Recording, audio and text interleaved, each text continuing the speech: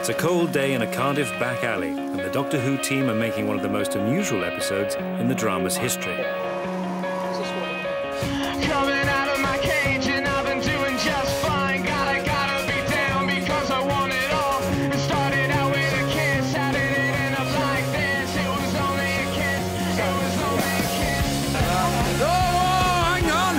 First episode ever, the Doctor and his companion barely make an appearance. The monster has been designed by a nine year old child, and it's the comedian Peter Kay who brings that ogre to life.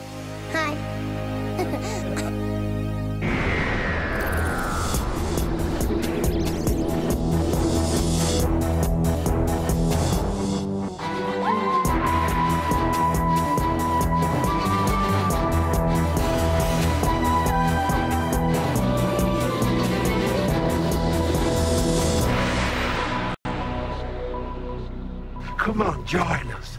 Dissolve into me.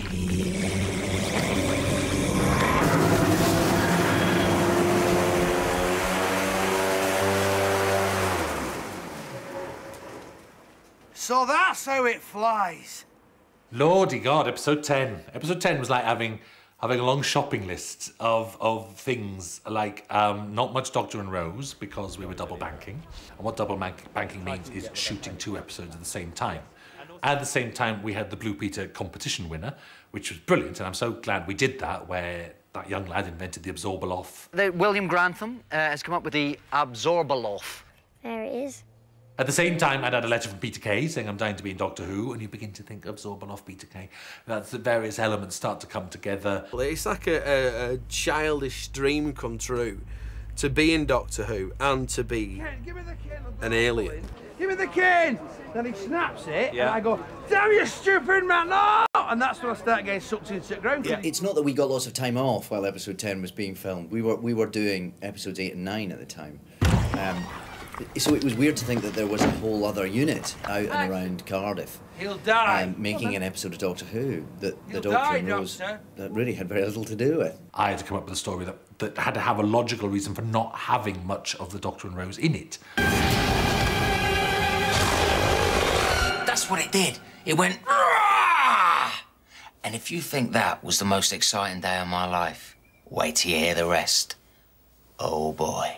It's one of the most, you know, unusual and left field, I think, of all the Doctor Who scripts, but it really works. It was really exciting reading it because it's like, this is so different. In terms of Doctor Who, it's pretty much the only time that's happened. That there's a story which isn't from the point of view of, of the Doctor or, or his companion. That was my family home down there. I did try, but there's two women live there now. They're a bit severe, so never mind. But but that is where it all started, because that's when I first met the Doctor. Russell um, T. Davies didn't want him to be geeky and, uh, you know, he didn't want like a funny voice or funny. He's a normal guy, he's a sweet guy, you know, he's just, he's quite wide eyed and innocent and he's, you know, and he's just looking for the truth and trying to find out what happened to him when he was younger. You know, he thinks he'll find that by finding the doctor and I think he sees, that finally, you know, finds a bit of wisdom at the end, you know, it's like he sees the doctor and becomes enlightened, I think. Well, that's what I'm playing anyway. But it's Marc Warren's episode. It's his it's his story that we follow, and and, and Billie and I are, are, are you know visiting guest artistes really. Interesting. Sort of absorbatrix. Absorb clon, absorbaloff. It's been absolutely fantastic, fantastic. And tomorrow, uh, I get my alien costume. What appears as only a few seconds on screen actually involves an all night shoot on the streets of Cardiff as Marc Warren begins his Doctor Who debut. Today we've just um, we've just done a scene where I'm walking by a load of shops and uh, the window explodes and uh, these autons come out. I was stocking up, you know, nothing special, all the usual stuff. When all of a sudden.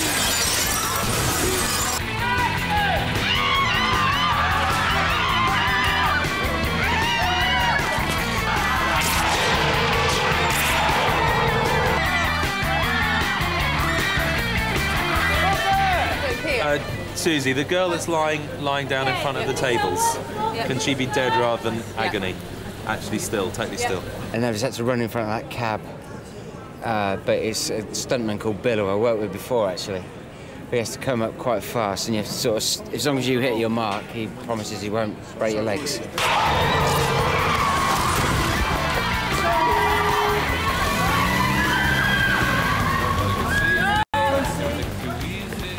Again, one of the great things about Doctor Who is that it can embrace actors, every different type of actor. You know, we can have someone like Pauline Collins or Simon Callow who are known as, as great proper actors. And then you can have Peter Kay, who's known as a, a comedian, a comic actor.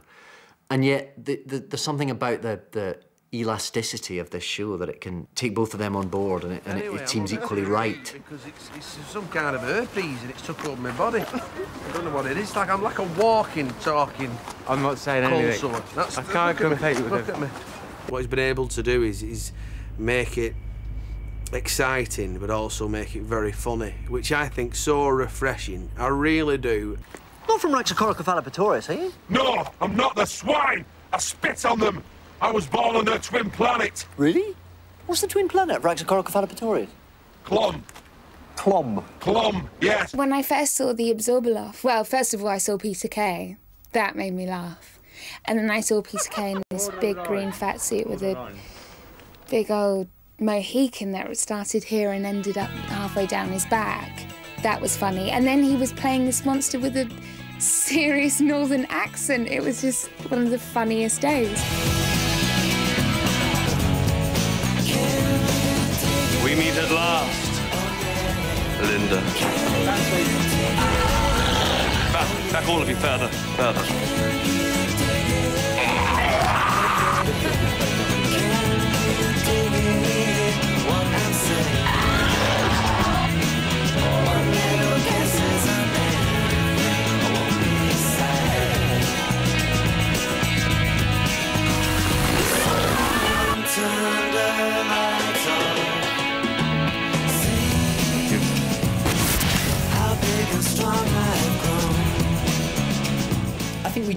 Sort of dare to push the comedy, perhaps slightly further than we normally do. But then again, that's part of the joy of Doctor Who is that you can do that. One week you can have something as dark as some of the elements in the Satan Pit are.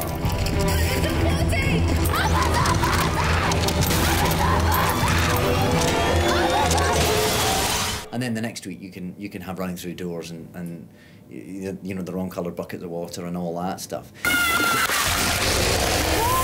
You made it worse! He said blue! I said not blue! It's something you've got to be careful with. It's like um, you don't want to get daft with it, and I know Peter's absolutely concerned that that he's going to do it for real. While the Absorbaloff is in himself very funny, um, he's also very threatening. He also is a genuine danger and ruins Elton's life.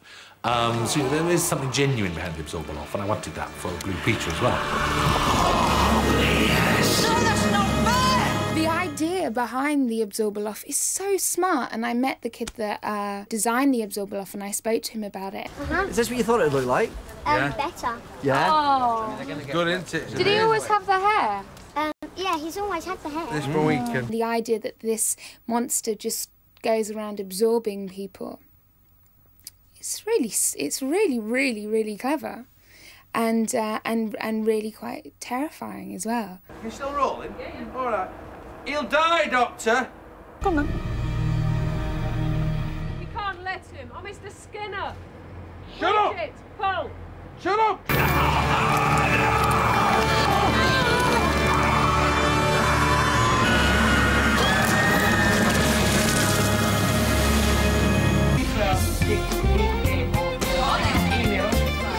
A year ago, the Absorbaloff lived only in the mind of a nine-year-old child who had entered a Blue Peter competition. Today, we go backstage as the Doctor goes face-to-face with the monsters he is yet to do battle with. Um, I'm on Blue Peter. It's uh, it's Wednesday, the something of August, and it's the it's the final of the Doctor Who Design a Monster competition. So I'm here to uh, to reveal the winner to the nation. and the whole team has had to lend a hand to open them. It's been our biggest Blue Peter competition since way back in 1993. But the big question is, how many entries did we receive? Well, here's the Dalek with the magic number. Designer Monster Competition received 43,900 920 entries. What about that? Lot of entries. That's a massive amount. And it's had more entries for any competition since 1993. And I think that shows how much Doctor Who is connected with this audience of of 8 to 12 year olds. There was actually a competition years ago. I, I don't didn't enter it, but I just remember it being on, and I remember seeing a clip from Blue Peter where they previously did a, make a design a Doctor Who monster. Now it's five to five, and time for Blue Peter. If you watch television at the weekend, I'm quite sure you probably follow the adventures of the amazing Doctor Who. However, in 1967, the lucky winner would never have seen his monster actually confront the Doctor. We want you to design a monster that's tough enough to beat the Daleks. It can be any shape or size you want, but it must have at least one deadly secret weapon that's never been used on Doctor Who before. I think one of the nicest things that Russell Davies did in the last series was to include a bit of Blue Peter in Doctor Who as a kind of nod to the fact that over 40 years or so, you know, Blue Peter have constantly promoted Doctor Who. When you've stuck your fins on, you can cover the whole lot in buttercream. Ooh, here's one I made a little bit earlier, and look at that. Your very own spaceship ready to eat. These monsters are pretty good, actually. I think I, I don't know what I was expecting, but it, it, the standard of the drawing's really high. Apart from the design as well, there, there, there's some really creative ones going on in there. You do wonder if some of these have been sent in by 45-year-old graphic designers, actually, because some of them are that good. Uh, indeed. OK, let's move on to the eights, nines, and tens, David. The one who's going to win this grand prize, Yeah. they're going to come down to the Doctor Who studios, they're going to see the monster being made, they're going to come on set, they're going to meet me and Billie and everyone else. Who is it? It is uh, William from... The Absorbaloff is a green sumo creature, and um, he absorbs his prey and um, dissolves to digest them.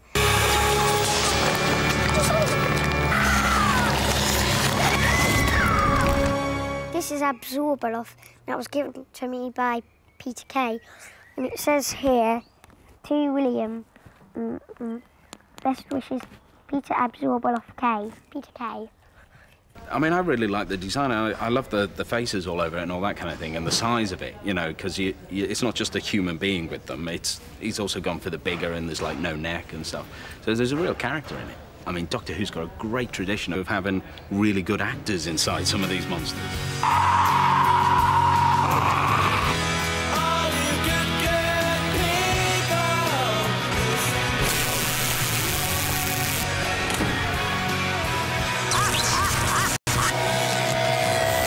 But what can I do for you, Doctor?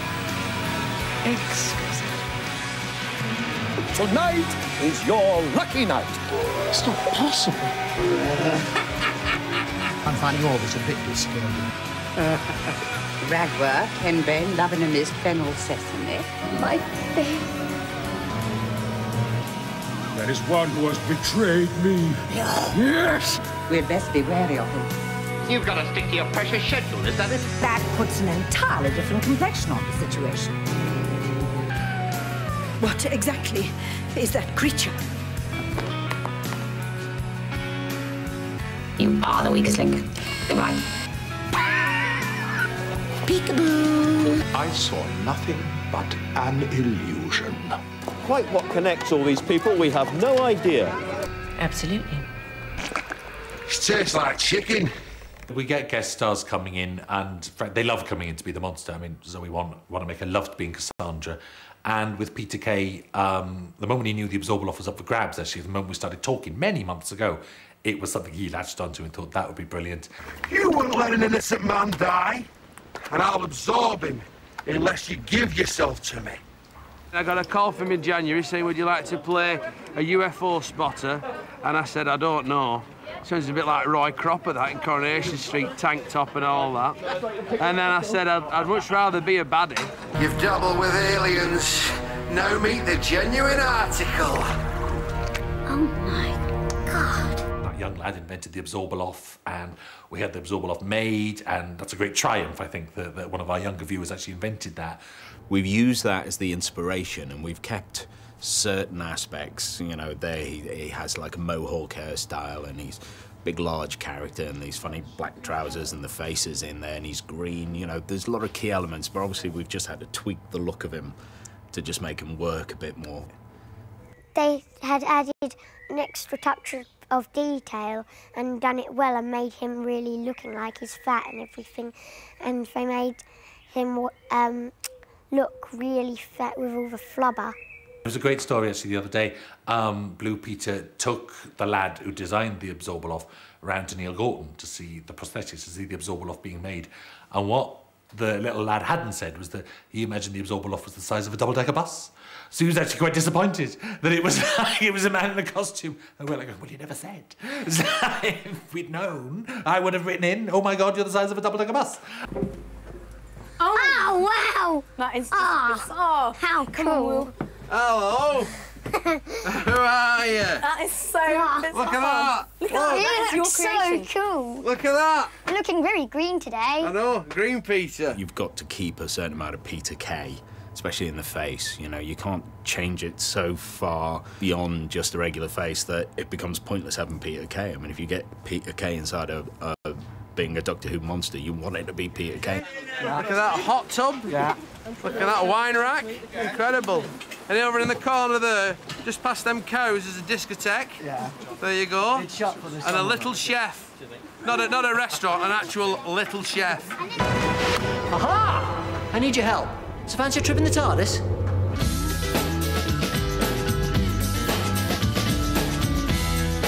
Something amazing happened in the world of Doctor Who because waiting for its return was the power of the internet, mobile phones, and interactive TVs. And this power is in the hands of a brand new generation.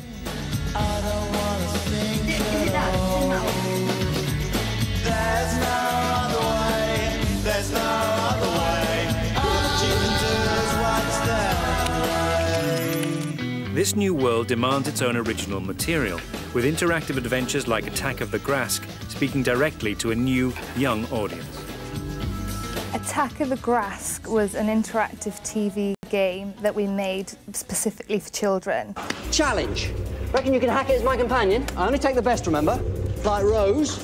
Basically, after the Christmas episode, children could press red and they would be presented by the Doctor himself in the TARDIS, offering them the, the ability to prove themselves as his assistant. Now's your chance. Only time to do one of two things. That control panel, take a look. Press one to teleport, two for stasis. Make a choice. Doctor Who was always ahead of, ahead of its time. You know, it was about futuristic things that we didn't understand. Whereas now, some of those futuristic things are just commonplace. So you get extra bits of Doctor Who by pressing the red button or whatever, and that's only right. Because Doctor Who, when it was off air, off the television, survived in different mediums. You know, on the internet, you know, in audio adventures. It's always been there. And, uh, and so it's, it's back on the telly, but all of these other avenues are still available to it. Before Doctor Who came back, uh, the BBC's Doctor Who website had an enormous audience uh, of very, very dedicated fans of the old series. And your typical uh, audience member would be mid-20s, maybe up to mid-30s, most probably male. Doctor!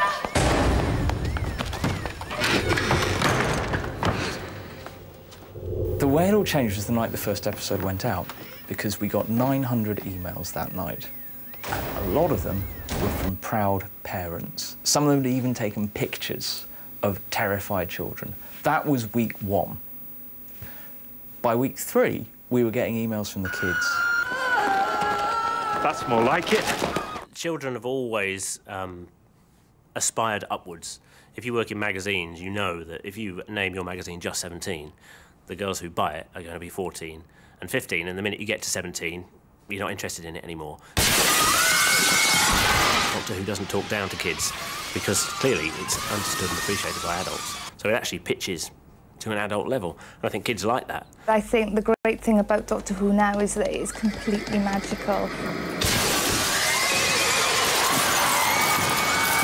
You want to go off into that magical world because the audience does want that escapism. They do want to be in that, that world. Oh, I love this. Can I just say, travelling with you, I love it. Me too. Come on! So you used to look at Doctor Who forums and Doctor Who message boards, and it would be people actually talking about the quality of the show, their theories about the mythology of the Doctor Who universe. All that's changed. In that it's still going on, But there's this other lovely thread of um, people who are just immediately expressing their love for David or Billie. And then you've got kids who are building their first website ever, all over the place.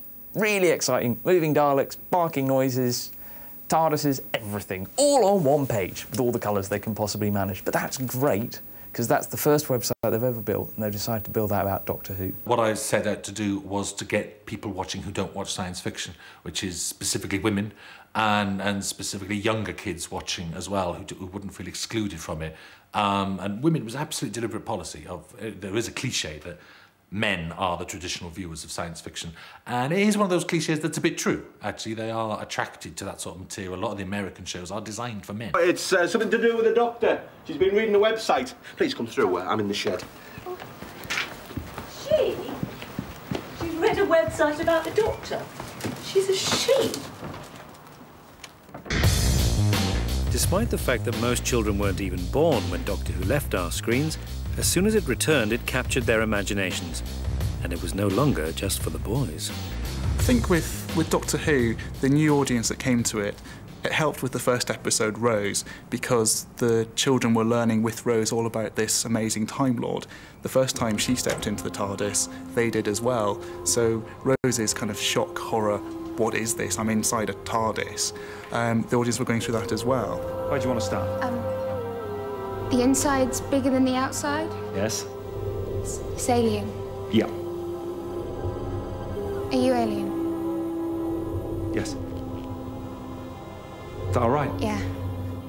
This series of Doctor Who um, really appeals to teenagers because it has more real elements in it. When Rose argues with her mum, Uh, teenagers, of course, relate to that. So they dive right in there and, you know, they're on the same wavelength as Rose. That's all she says. Travelling. That's what I was doing. With your passport still in the drawer. It's just one lie after another. I meant to phone. I really did. I just. I forgot. What, for a year? You forgot for a year? Some of young children are watching Doctor Who these days because it is it's so exciting. It's just it's just one big adventure for them. It's very fast paced. There's lots of exciting colours. The monsters are very scary. Children love to be scared. There's lots of grossness in it, and, and children they love being grossed out.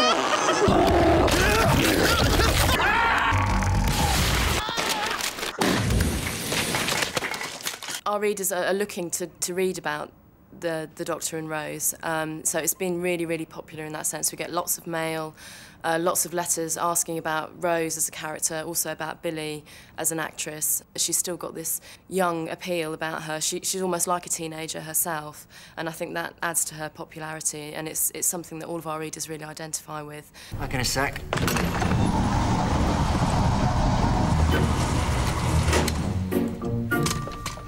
He said not to look for it. Yeah, he did. They really love Rose because she's really cheeky and she's really daring, and in their minds, they think that they could possibly be like her. Now you get it. I imagine our readers are running around attacking each other or trying to kill each other. Um, and it, it's always happened. It goes back to when I was five, when you would play Doctor Who in the playground and, and have fun exterminating people and who was going to be the Doctor, who was going to be the companion. Uh, I, I imagine that's exactly the same in the playground like now, thanks to Doctor Who coming back. In this new world of Who, even the music has received a makeover. For the very first time, the BBC National Orchestra of Wales are in the studio recording a new working of the Doctor Who theme.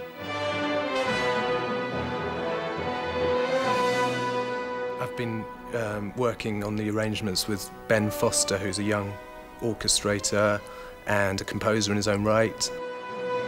And Perhaps we come a step closer to making it sound the way I want it to.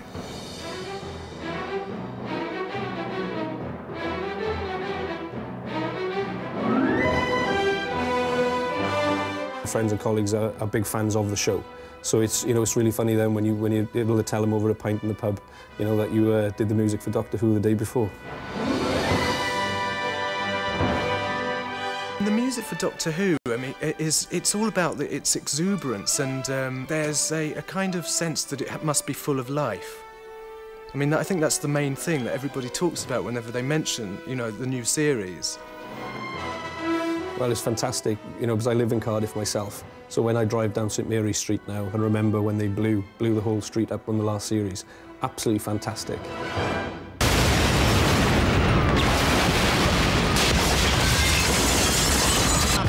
Don't kill people, rappers do.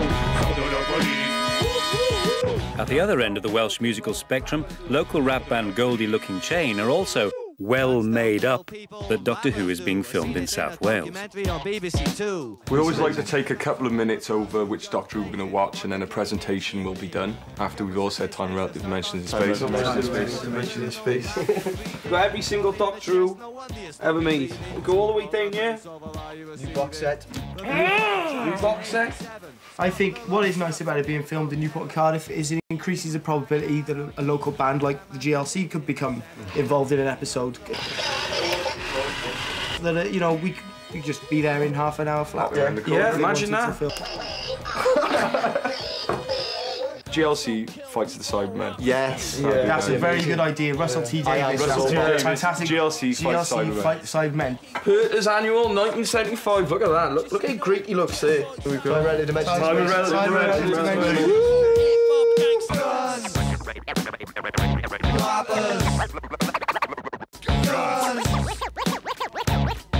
I, I love you, Mum.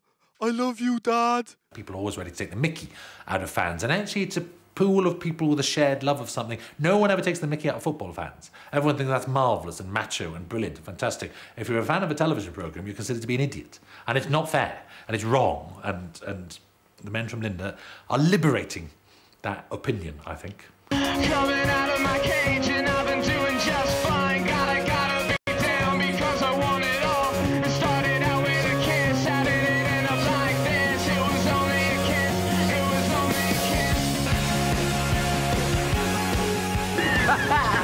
A kiss. Flashing batteries, flashing batteries. I'd be glad to see the back of it tonight, and I can be human tomorrow and eat my dinner and use my mobile.